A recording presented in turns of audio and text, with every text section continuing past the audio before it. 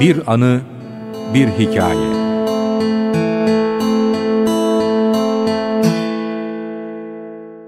Bir sahte dervişin casusluk hatıraları. Şimdi 18. bölümü sizlere sunmaya çalışıyorum. Casus Arminius Vanbury İran'da Tahran elçiliğimize misafir kalırken Tataristan tarafından yani Batı Türkistan tarafından evet Doğu Türkistan tarafından gelmiş olan hacılarla karşılaşır. Batı değil Doğu Türkistan tarafından gelen hacılarla karşılaşır. Ve onların böyle çok kültürlü, temiz insanlar olduğunu görerek çok hoşuna gider. Oh iyi der. Bunlar bunlar yani kemiksiz et gibi. Sinir de yok. Çiğ köfteli et gibi yani. Hiç. Bu insanlarla ben yolculuk edebilirim. Sizleri tercih ediyorum ben de. Sizinle gelirim. Onlar da hay hay. Biz sizin gibi büyüklerin kabirlerini ziyaret etmek için, silsilali büyüklerini ziyaret etmek için yola çıkan insanlara her türlü yardımı yapmaya hazırız. Ancak oradaki yolculuklar çok zordur. Dönüşünüz yalnız olacak buna razı mısınız? Başınıza her an ölüm tehlikesi gelebilir deyince de boş verin üç günlük dünya değil mi? Ben zaten bu dünyadan usandım diyerek bir Müslümanın kolay kolay böyle pat diye söyleyemeyeceği bir sözü bu derviş kılıklı adam söyler. Diyeceksiniz ki bu anıları niye seyittin? Adamın aleyhinde mi konuşuyorsun, lehinde mi konuşuyorsun? Efendim, biz Türk ve Müslüman evladı olarak bu iki hususumuza sahip olmalıyız. Buna saldıranlar daha çok olacaktır. Daha ileride daha çok olacaktır. Ne kadar güçlenirsek o kadar saldıranı çok olacaktır. Bizim uyanık bulunmamız için bir dört yaşından beri bir ayağı topal olan babasını kaybetmiş, annesi dul kalmış, okuyamamış, sokaklarda temizliklerle uğraşmış olan birisi 12 tane dili çatır çatır lehçelerine göre konuşabilecek hale geliyor ve İngiltere bu adamı alıyor, buluyor, çıkarıyor, kendine casus yapıp Orta Asya'daki Müslümanları yaşatılan tespit etmek istiyor. Rusya burayı işgal edecek mi, etmeyecek mi onun tespitine gidiyor. Giderken de girdiği Müslüman kılığı aşık bir derviş kılığı olarak hacıların gönlünü fethediyor. Hacılar da hacca gitmişler dönüşlerinde bundan beraberler. Bu sözlerimden hacılar azmimi ve niyetimde ne kadar kararlı olduğumu gördüler. Beni yanlarında götürmeye karar verdiler. Benimle tek tek kucaklaşıp öpüştüler. Eskimiş kıyafetlerime sinmiş eskimiş kıyafetlerine sinmiş kötü kokulardan bu kucaklaşma pek hoş olmasa da işim yoluna girdiği için buna da katlandım diyor. Evet. Bu da bir enteresan değil mi efendim? Hacılar eski kıyafette yolculuk ediyor. Bir üstteki kaftanları temiz, yeni. Geri kalan kıyafetleri yola çıktıklarına bu kaftan dürülüp konuyor bir zembile. Bunlar böyle garip, kuraba, fukara, hiçbir şeyleri yok. Üzerinde çullar var, yamalarında yamaları var görüntüsüdeler. Tabi buna sarılmak o eski püskü elbiselerin kokusu hoşuma gitmese de diyor. Dava uğruna buna katlandım.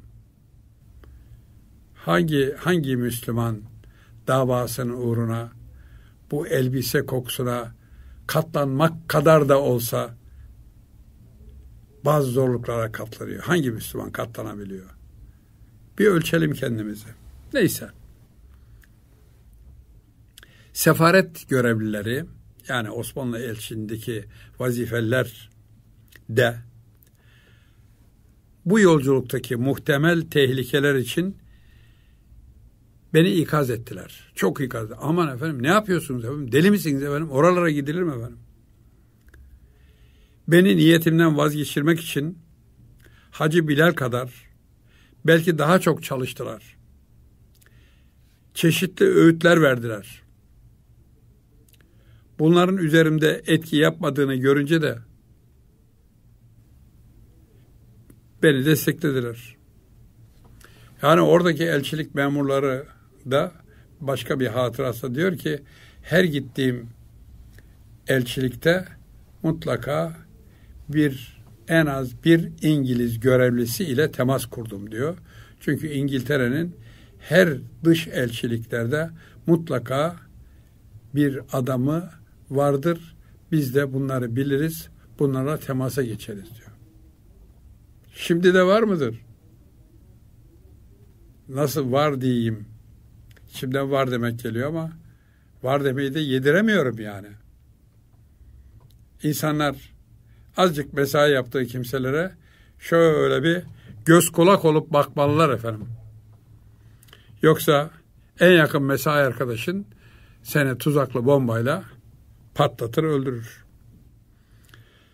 Sefir Haydar Efendi elçi hacıları huzuruna çağırıp aramızdaki konuşmalarda kendilerine söylediklerimi o da teyit edip en iyi şekilde korunmam için gayret etmelerini tekrar tekrar onlara tavsiye etmiş.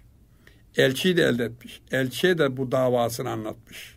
Ben büyüklerin kadri kıymetini bilmek istiyorum. Onları ziyaret etmek istiyorum. Ruhaniyette istifade etmek istiyorum diye. Elçi de inanmış.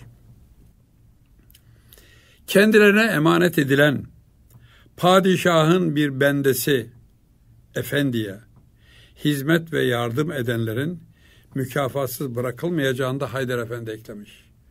Bak diyor bu padişahımızın misafiri ha. Birden padişah misafir oldu. Halbuki Haydar Bey'e götürdüğü mektup İstanbul'da konağında kaldığı paşadan bu Haydar Paşa'ya geliyor. Haydar Efendi'ye geliyor.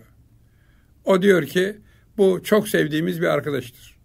Evinde bir seneden fazla kalmış.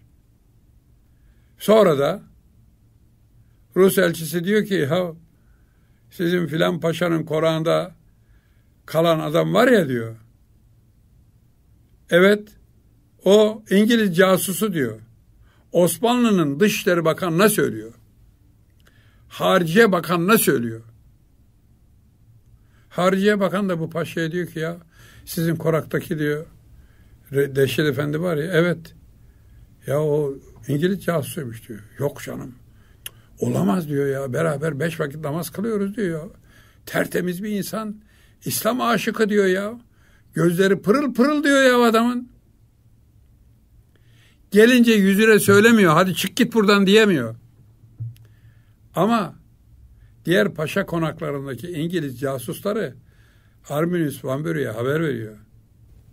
Seni böyle böyle Rus elçisi Hariciye Bakanı'na ihbar etti deyince ertesi sabah diyor ki paşam müsaade ederseniz ben artık bu aşk kara sevda haline dönüştü.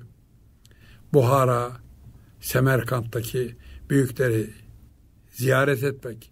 Ben dayanamayacağım efendim diyor. Geceleri gözüme uyku girmiyor diyor. Ben gideyim. O da bakıyor ha diyor ya bunu böyle dediler de ama bak adam hakikaten temiz Müslümanmış diyor. Cebine bol da haçlık koyuyor.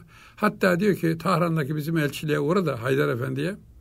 Haydar Bey de size böyle yardımcı olsun diye ona da bir yardımcı olma mektubu yazıyor. Koynuna koyuyor. E peki bu paşa bunun casus olduğunu söyleyen Harciye Bakanı'na inanmıyor. Bu adamın bu tavrına inanıyor.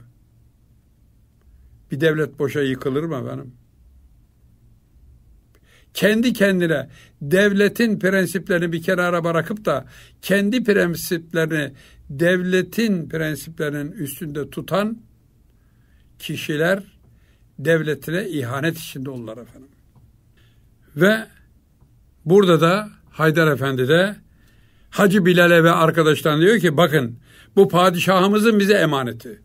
Ya nerede padişahın kimi emanet etti bunu ya? Abdülaziz Han bunu azarladı hatta Kandilli Köşkü'nde gördüğünde. Orada ders verirken efendim upuzun yatıyormuş. Sen Avrupa'da mı öğrendin böyle edepsizce yatmayı diye? Daha veli ahdken Abdülmecit Han zamanında buna azarlamış. Da Sultan Abdülhamit Han şehzade olarak o diyor ki aman efendim sizi görmedi bu çok kıymetli bir adam benim kız kardeşime de söylüyor falan.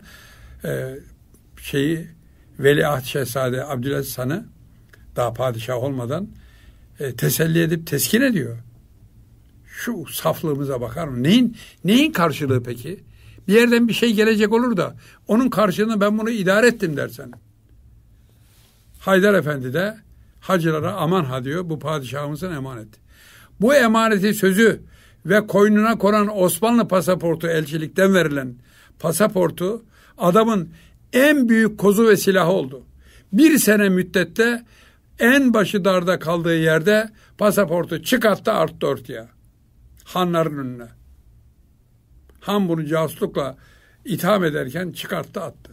Öyle olunca da tabii her türlü tehlikeden adam azade kaldı. Evet, efendim 18. bölümümüzün de sonuna gelmiş bulunuyoruz. 19. bölümde inşallah buluşmak üzere. Hoşçakalınız.